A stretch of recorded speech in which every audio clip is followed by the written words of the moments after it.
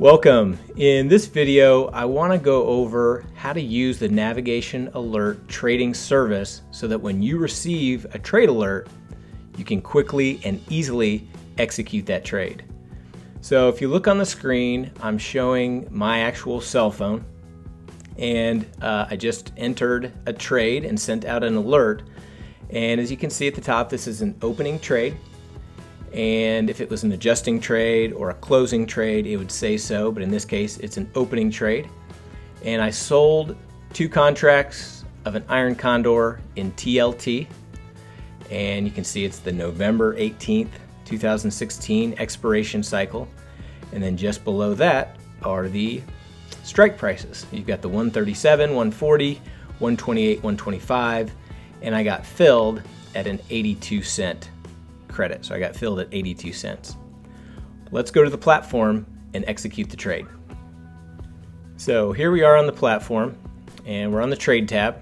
So we put in the symbol TLT and then we want to go to the November 18th, 2016 expiration cycle. So you want to open up that option chain.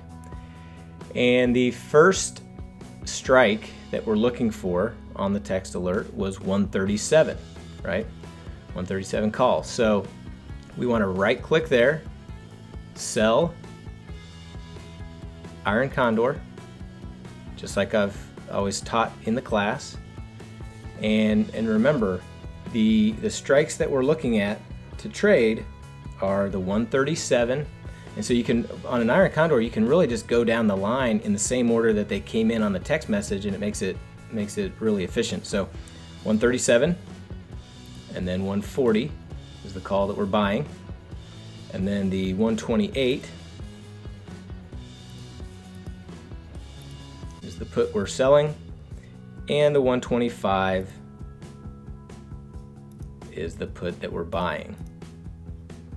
So we enter that there and and there you go. So as you can see, and this is a good example because now you can see it's trading at 81 cents. Okay, I got filled at 82 cents. Sometimes you're gonna get filled at better prices.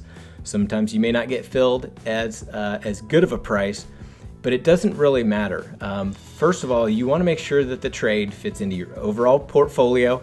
You don't have to take every trade that I take, uh, but this is a good example to, to show you of, of what you can do.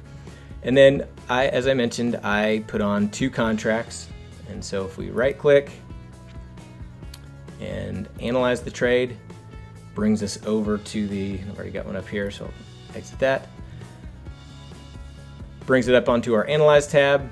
Make sure you set your slices to break even.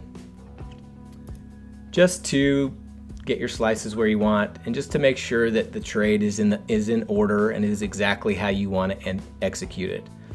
So this looks good. This is exactly what I'm looking for.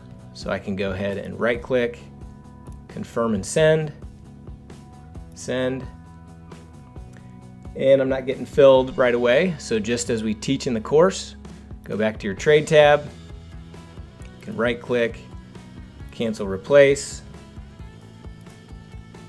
move it down a penny, confirm and send, and see if we get filled there. We may have to give up another penny or two. That's just part of trading cancel replace. Let's move it down to 79, confirm and send. And we got filled at 79 cents. So then you go back to your Analyze tab and you can see right here our max profit on this is $158, max loss $442. Uh, again, this just this is just a sample trade that I put in my one of my smaller accounts. Uh, you, you need to trade the number of contracts that fits your account size and fits your portfolio. I hope this was helpful, and we'll see you next time.